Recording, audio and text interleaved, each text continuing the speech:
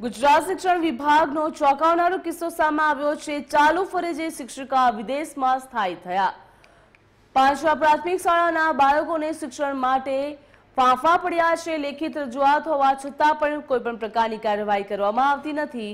ગુજરાત શિક્ષણ વિભાગનો એક ચોંકાવનારો આ કિસ્સો સામે આવ્યો. જ્યાં બનાસકાંઠા જિલ્લાના પાંચા પ્રાથમિક શાળામાં ફરજ બજાવતી શિક્ષિકા વર્ષોથી વિદેશમાં સ્થાયી થઈ. છતાં પણ પાંચા શાળામાં ભાવનાબેન નામની શિક્ષિકા ફરજ ઉપર દર્શાવવામાં આવી રહી છે. આચાર્ય ઇન્ચાર્જે કહ્યું કે શિક્ષણ મંત્રીને અને જિલ્લા શિક્ષણ અધિકારીના બાબતે લેખિતમાં અરજી કરી. છતાં પણ કોઈપણ પ્રકારની કાર્યવાહી કરવામાં આવતી નથી. ભાવનાબેન નામના શિક્ષિકાના પાંચા પ્રાથમિક શાળામાં હાજર થઈ ગયા હતા. ના તો રિઝાઇન મૂકી રહ્યા છે, જેને લઈને શાળાના અભ્યાસ કરતા બાળકોના ભવિષ્ય સામે ખિલવાડ થઈ રહ્યો હોય તેવું સ્પષ્ટ દેખાઈ રહ્યું છે.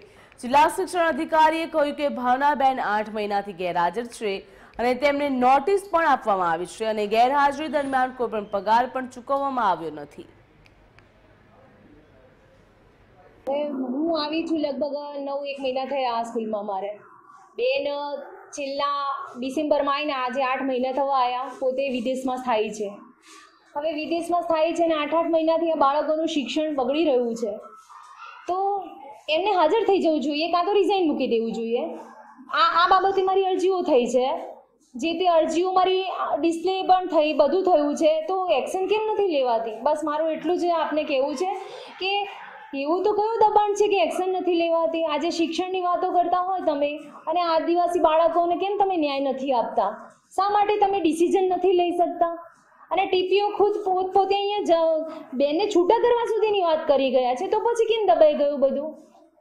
બસ મારી આટલી જ અરજી છે અને મારી અરજીઓ ભાઈ છે કે શિક્ષણ મંત્રી સુધી કરેલી છે. મેં ડીપીઓ સાહેબને કરી છે.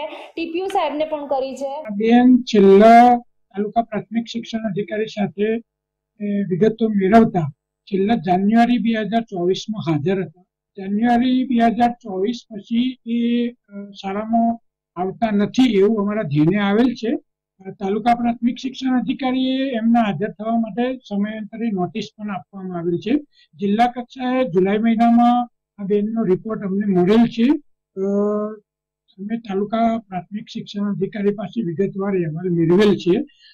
સામાન્ય વહીવટી વિભાગના ઠરાવ મુજબ કોઈ શિક્ષક સતત એક વર્ષ સુધી બિનઅધિકૃત રીતે ગેરહાજર રહે અને નોટિસ આપવા છતાં હાજર નહીં થાય, તો એમને એ ઠરાવની જોગવાઈ મુજબ અમે એમની બિન બરતરફ કરવાની આગળની કાર્યવાહી કરીશું.